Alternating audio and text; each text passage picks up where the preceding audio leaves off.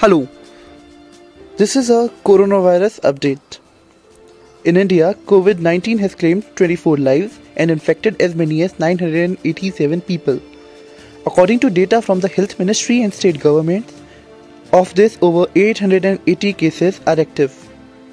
Sports Minister Kiran Rijiju donated his one month salary over and above Prime Minister Narendra Modi's directive to all BJP MPs to contribute 1 crore from MPLAD funds in the country's fight against COVID-19 pandemic. The coronavirus has claimed over 26,000 lives and infected at least 5,75,000 people across 201 countries, according to WHO. The outbreak has been particularly grim in the US, Italy, and Spain.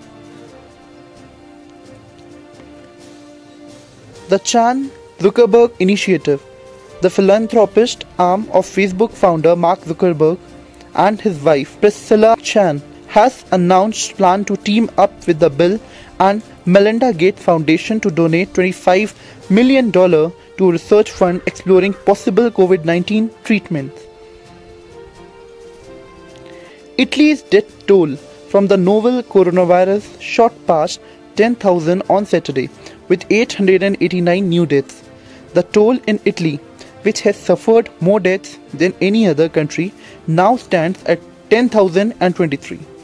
An additional 5,974 infection brought to 92,472 the number of people who have officially tested positive for COVID 19 in Italy since the crisis began last month.